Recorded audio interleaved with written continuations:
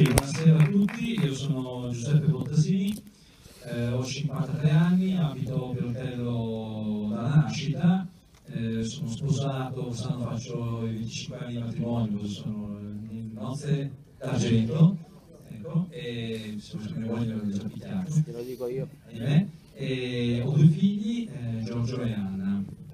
Ehm, da ragazzo mh, ero impegnato nella parrocchia, nella Caritas, i miei primi impegni tipo civile e civico sono stati nel consiglio d'amministrazione della, dell'asilo Gorra qua a Piotello e nella scuola di formazione per disabili a, a Mezzo, eh, incarichi non retribuiti, per, giusto per dire, eh, l'amministrazione si pensa subito a soldi, ma in questo caso erano ahimè incarichi non retribuiti. Sono arrivato alla politica molto tardi eh, rispetto a quella della mia generazione, perché sono arrivato alla politica dopo i 30 anni, più o meno quando è nata mia visto a chiedermi che tipo di città avrei voluto per lei sostanzialmente.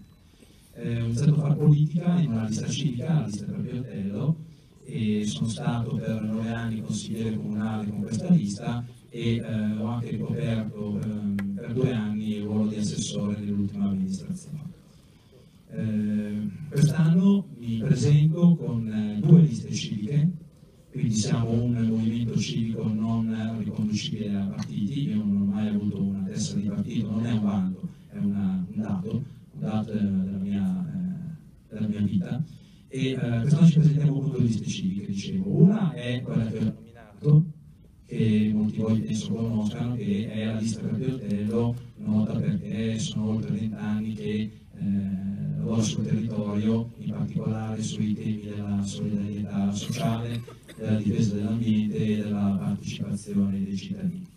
Eh, quest'anno eh, c'è una novità, eh, corre con noi, insieme con noi, una seconda lista civica, eh, Vivere Piotello, che eh, fa un po' da compensazione del lungo corso della lista per Piotello, perché è fatta da persone eh, che hanno la loro primissima esperienza politica e che mettono a disposizione della città, vogliono mettere a disposizione della città le loro competenze eh, professionali e eh, di impegno, chi nei comitati di quartiere, chi nelle scuole, eccetera.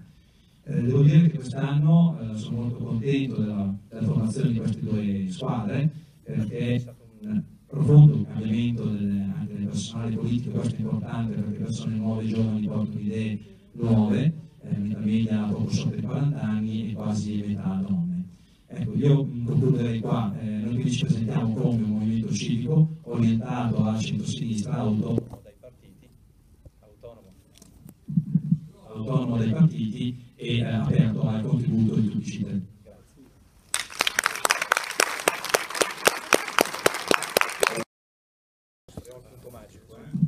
Ok, questo è il punto magico. Allora, eh... no, non è questo, ecco. La prima cosa che... Ecco prima cosa che eh, chiunque di noi si troverà a dover fare come, come sindaco è eh, nominare la giunta.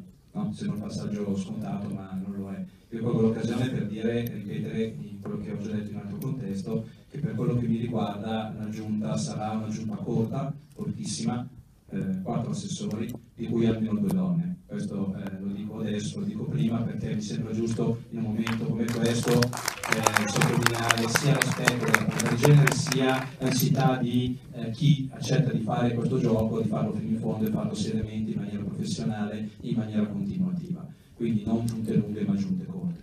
Il primo atto che è la prima dei, tante, dei tanti progetti che abbiamo in testa di fare che dovrò fare per forza il primo giorno, per essere serio, è che la mia agenda come sindaco sarà su internet dal primo giorno, cioè gli impegni che io avrò come sindaco dovranno essere noti a tutti i cittadini e qui leggo la cosa che non farò mai come sindaco è uscire a mangiare da solo con i miei fornitori.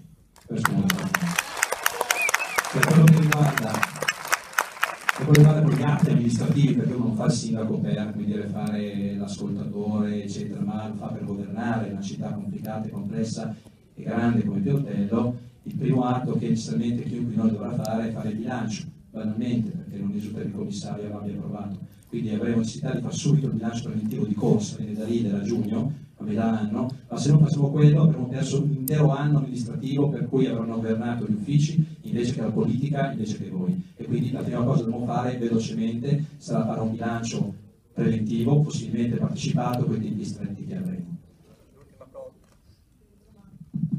L'ultima cosa che ci tengo a citare è la seguente, perché per noi è molto importante ed è fondamentale per il nostro programma. Noi abbiamo scritto un programma eh, fatto di valori, linee guida, eccetera.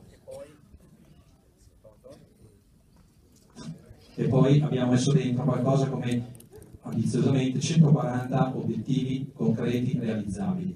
Allora, nei primi giorni della nostra amministrazione dovremo fare un grandissimo sforzo, un grandissimo anche atto di fiducia nel prendere queste 140 proposte, 140 promesse che abbiamo scritto, potete vedere su www.tasinisingapo.it da più di una settimana, potete consultarlo, stamparlo, cercarlo. Noi ci impegniamo nei primi, nei primi settimane del nostro, del nostro incarico a pianificare nei cinque anni tutti questi obiettivi e dare in mano agli, eh, agli uffici delle linee guida chiare di cosa devono fare e a voi cittadini la possibilità di controllarci anno per anno, periodicamente, su che punto siamo arrivati, su quello che avevamo promesso. Grazie.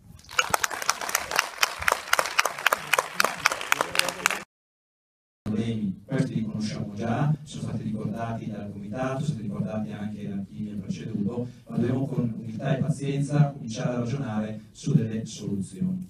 Allora, qui l'intervento necessariamente eh, riguarda tutti gli aspetti, riguarda gli aspetti sociali, riguarda gli aspetti della legalità, riguarda gli aspetti della casa. Proviamo a elencare qualcosina, senza nessuna eh, ambizione di risolvere il problema stasera qua in piedi in due minuti però qualcosa si può dire. Prima, sul tessuto sociale, è stato detto che il satellite è un luogo vivo, no? negozi aperti fino alle 10 di sera con tutti i problemi naturalmente conseguiti. Ecco, allora, noi pensiamo che i satelliti, i problemi dei satelliti vanno affrontati anzitutto con le persone che vi abitano, non calando soluzioni dall'alto, perché non ce lo possiamo permettere, sono persone, sono persone quindi con i loro problemi, con le loro difficoltà, ma sono persone con le quali è assolutamente necessario dialogare per trovare delle soluzioni adatte a loro. Questo vuol dire riconoscere innanzitutto i ruoli importanti e fondamentali delle associazioni come il Comitato di Quartiere, come le associazioni che lavorano già nel territorio di satellite, penso al Centro di Cultura Popolare, e tenendo conto del fatto che c'è una grandissima realtà di ehm, persone che provengono da tutto il mondo, un rilancio della consulta interculturale che oggi fa fatica a lavorare. E le priorità che nel nostro programma abbiamo messo. Il tema della formazione delle persone rispetto delle regole, anche delle regole elementari, come la raccolta differenziata, che eh, dire, poi si traduce in un danno economico per la collettività, se mal fatta come viene mal fatta in alcuni quartieri come il satellite di Piazza Garibaldi. Legalità, allora il presidio del satellite ha di essere naturalmente rafforzato come in tutta la città. Vi do un dato, il satellite è il quartiere sul quale insistono dalle 6 alle 8 telecamere di videosorveglianza sorveglianza, come dire che c'è una telecamera ogni mille abitanti, è già un dato abbastanza, come dire, che fa un po' impressione detto così. Quindi il problema non è videosorvegliare il satellite, ma è pattugliarlo per strada, avere i presidi della polizia locale vivo e non fittizio. Ecco, eh, un controllo che va fatto è solamente sulle residenze, e questo è un punto fondamentale, eh, noi dobbiamo cominciare a incrociare i dati delle residenze con i dati tributari, i dati anagrafici, per capire dove sono avvengono i fenomeni di sovraffollamento, di vendita dei posti letto, di vendita dei posti doccia, perché questi sono punti fondamentali per rilanciare quel quartiere. Concludo, perché vedo che il tempo si è esaurito e mi dispiace, eh, noi abbiamo intenzione di lanciare un nuovo strumento che è l'Agenzia Pubblica della Casa, che dia supporto e sostegno a chi compra casa o chi sta per perderla per, per questione di sfratto e che sia incaricata anche di ricercare dei finanziamenti. Vi cito un dato e concludo. Eh, oggi, cioè, il giorno scorso è uscito un bando dell'Unione Europea gestito da Enea per l'Italia, 10 milioni di euro destinati all'efficientamento energetico dei condomini a, bassa, eh, a basso reddito economico, certamente in situazione del satellite. Queste situazioni, queste opportunità non possiamo farcele sfuggire. Ultimissima cosa, chiedo scusa, ultimissima, eh, noi stiamo anche pensando attraverso questa agenzia di fare un'operazione un po' pericolosa e un po' particolare. Cioè, come dire, ma se in questo momento gli appartamenti vengono vanno via all'asta giudiziaria per 30-40 mila euro, è possibile che il pubblico, l'amministrazione pubblica non possa attraverso uno strumento che può essere un partner privato, acquisirli per ricostruire la legalità nei supercondomini, avere degli appartamenti che possono essere rimessi sul mercato dell'affitto, ristrutturati per introdurre isole di legalità all'interno dei supercondomini più eh, messi male, secondo noi si può fare e va fatto. Grazie. Grazie. Libero un minuto alla prossima, alla prossima risposta. Aspetta, eh? ok, l'ho trovato la soluzione. Allora, noi eh, per quanto riguarda il commercio locale abbiamo introdotto nel nostro programma di mandato eh, un eh, progetto specifico per quanto riguarda il sostegno al commercio locale, riconoscendo un ruolo assolutamente importante e strategico per mantenere insieme il tessuto sociale della, della città e essere un'occasione di, di lavoro e di presidio del territorio. Eh, ci devo dire che questo progetto è stato scritto dai commercianti che si candidano nelle nostre liste civiche ed è stato presentato anche a Confcommercio, quindi non è una così, idea creata dall'alto ideologica sul commercio di vicinato, ma siamo andati a sentire direttamente i, eh, gli operatori. Eh, secondo noi il problema del commercio di vicinato è, eh, c'è questa domanda, come eh, rendere competitivi i nostri, i nostri negozi, così, i nostri negozi rispetto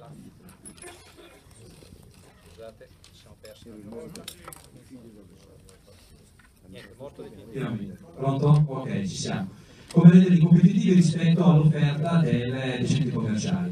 Eh, naturalmente la competizione non può essere fatta sul prezzo, ma sulla relazione con il cliente e sulla qualità dei servizi e dei beni offerti. E l'altro elemento è fare massa critica dei negozi, perché se ho un negozio isolato, no, è come la gazzella che rimane da sola, rischia di essere aggredita e di terminare rapidamente la propria attività. Qual è lo strumento principale a cui abbiamo pensato? È un'agenzia di promozione del territorio comunale che sfrutti tutte le conoscenze che l'amministrazione ha già su tutte le attività di impresa e commerciale che esistono sul territorio. Il comune sa dove sono le, i pericapanomi iscritti, sa dove sono i negozi iscritti, sa il tipo di negozi che sono aperti e che attività svolgono, sanno anche i servizi a corredo accessori che possono essere utili per l'apertura di un negozio, sanno dove c'è la videosorveglianza, sanno la distanza dalle grandi, dalle, dalla Brevemi, in questo caso ma anche Tortello, conosce dove metteremo i wifi. Allora da questo punto di vista il comune può rendersi parte operativa, attiva, positiva per l'inserimento sul territorio di Tortello di nuove imprese e di nuovi negozi e di nuovi negozi e attività commerciali. Questa agenzia sarà anche eh, incaricata di fare due cose, e chiudo. Uno, coordinare gli interventi, eh, scusate, gli eventi, no? oggi sono esperti su Proloco, associazione, eccetera, per evitare quello che capita oggi, sono posizioni nelle stesse date di più eventi, c'è un evento in piazza e il negozio non lo sa e tiene chiuso. Questi sono tutti sprechi di risorse, fatica e di eh, possibilità di vendita. E l'ultima, noi abbiamo intenzione di fare un circuito di pubblicità locale tramite manifesti digitali, che vuol dire schermi dove vengono date alla popolazione notizie locali, inframmezzate a pubblicità locale. Questo come forma di incentivazione e di sostegno al nostro commercio e ai nostri negozianti. Grazie.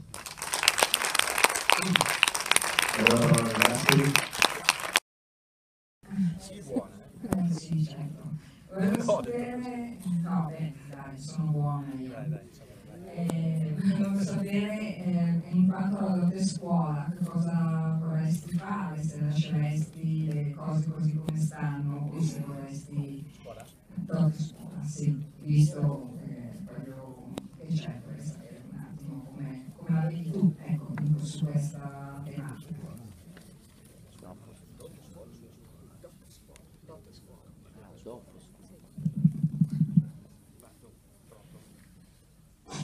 Funziona? Sì, sì. Torna indietro. Scusate, oh, ci siamo, ci sentiamo. Pronto? Sì, ok, finalmente ci siamo. Eh. Provo a girare, eccolo qua, va bene. Allora, eh, per quello che riguarda la scuola, ti rispondo, scusami, per, permetti di rispondere di più generale sul, sul piano della scuola, perfetto, ti ringrazio. Allora, eh, noi abbiamo messo tra i primi punti del nostro programma, tra i primi valori del nostro programma, la formazione, perché crediamo che eh, solo la formazione sia una delle principali leve per poter sollevare la nostra città, vuol dire investire sui nuovi cittadini.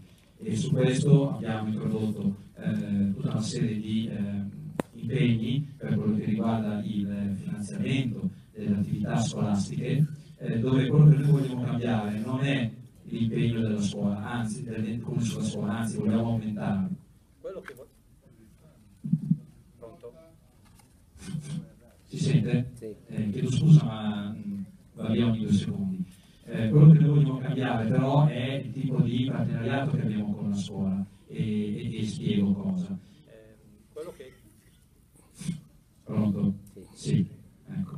Eh, quello che noi vogliamo eh, cambiare nella relazione con la scuola eh, riguarda le modalità di finanziamento. Eh, voi sapete che l'amministrazione comunale ogni anno eh, eroga dei finanziamenti in parte eh, per strutturali, cioè edifici scolastici, mensa, eh, queste voci naturalmente vanno mantenute, vanno eh, conservate perché sono sul fondamento del diritto allo studio. Vi sono poi una parte diciamo, variabile sulla quale l'amministrazione può e di solito eroga dei finanziamenti. Quello che noi vorremmo fare su innanzitutto ringrazio tutti voi che siete rimasti fino a quest'ora pronto sì, ad ascoltarci. Eh, vi ho detto cose intelligenti, cose meno intelligenti, lo giudicherete voi il 25 di maggio. Eh, l'appello che io faccio a tutti i presenti, anche a quelli che hanno già deciso cosa votare e caso Mi fa- di non votare di non votare noi, eh, io posso dire solo questo, che noi nel nostro percorso abbiamo fatto una scelta che ci è costata, una scelta di discontinuità, una scelta chiedo scusa, eh, una scelta di discontinuità rispetto al nostro- alla nostra storia, una scelta che ci è costata in termini di fatica, in termini di relazioni che si sono interrotte, in alcuni casi si sono rotte. Ma noi abbiamo dato questo passaggio assolutamente fondamentale, non saltabile, non rinviabile. Abbiamo fatto questa scelta, ci- a questo punto ci eh, pro- proponiamo per governare questa città, sapendo da un lato di aver dato un punto di discontinuità e dall'altro di essere in grado di garantire quella necessaria preparazione anche amministrativa, anche di esperienza, che è necessaria per governare una città complessa e bella come è Biotello. Grazie. Allora, grazie.